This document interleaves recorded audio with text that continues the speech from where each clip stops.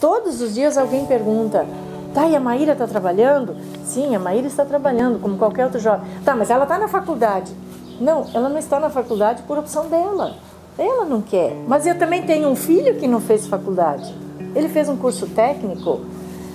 E o que me chama a atenção também, é, é, num outro sentido, assim, num outro plano, eu vejo muita competição entre as mães. Ai, porque o meu filho é isso, porque o meu filho é aquilo, porque o filho tem que atingir aquilo. O que, que eu quero? Eu posso querer o futuro dele? Sim. Mas eu posso, eu tenho o direito de querer a profissão dele? Não. Ele não tem que ser o melhor em tudo, ele tem que ser aquilo que ele quiser ser.